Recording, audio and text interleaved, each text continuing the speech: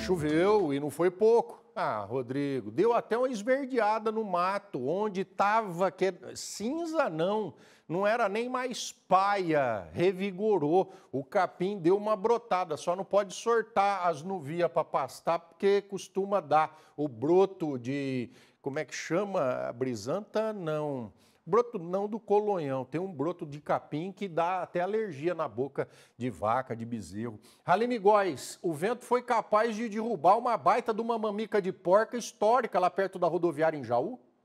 Sim, Rodrigo. E olha só, as ruas próximas ali da rodoviária precisaram ser interditadas. Mas o caso mais crítico em Jaú, devido ao vento forte de ontem, a ventania, né? A chuva veio, mas também veio com vento. O caso mais crítico foi um clube da cidade. Ontem, ontem né, uma árvore caiu sobre três carros. Felizmente, é, ninguém se feriu aí nesse clube da cidade de Jaú, onde essa árvore, olha, essa árvore grande, né, caiu sobre três carros. Bom, tivemos diversos casos na cidade de Jaú ontem devido a esse vento forte, tá? Que foi acompanhado da chuva. A chu a, o vento, então, causou a queda de cinco árvores em diferentes pontos da cidade.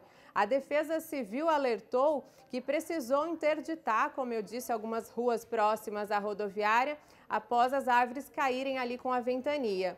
Como eu disse, o caso mais grave foi nesse clube e a região, atenção, a região está em alerta amarelo para chuvas intensas que podem variar de 20 a 50 milímetros por dia e ventos de 40 a 60 quilômetros por hora, viu, Rodrigo? Bom, a chuva veio, mas infelizmente esse vento forte causou muitos estragos ontem na cidade de Jaú. Volto com você.